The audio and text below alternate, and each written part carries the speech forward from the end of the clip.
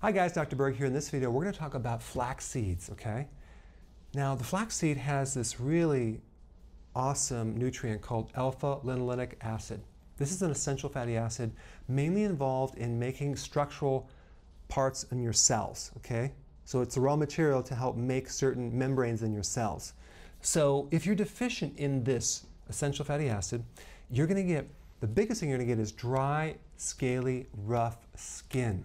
Now, if you take this or consume flax seeds and it doesn't work, it could mean that you're not digesting them because you don't have a gallbladder or you don't have um, the bile necessary to break down these fats. Okay, so it could be your own digestive system. But if you're deficient, you'll get this symptom. You can get brittle hair, dry hair, hot flashes, cracking of the skin, especially in your heels, uh, bumps in the back of the arm.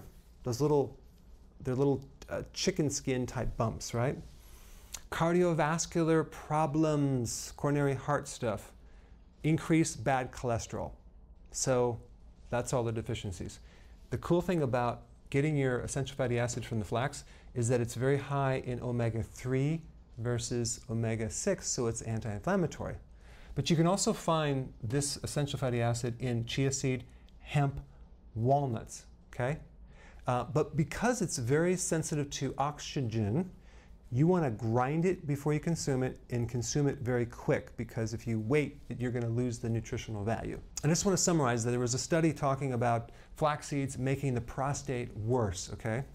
Well, they went back and they did a uh, big review of these studies and they found that actually was not true. So consuming flaxseed will not enlarge your prostate, will not cause prostate cancer. I'll put a link down below so you don't have to worry about that. I think it's a good thing to consume, and uh, especially if you have any of these right here. Thanks for watching. Press the subscribe button. Press it. Forget it, forget it, I'm done.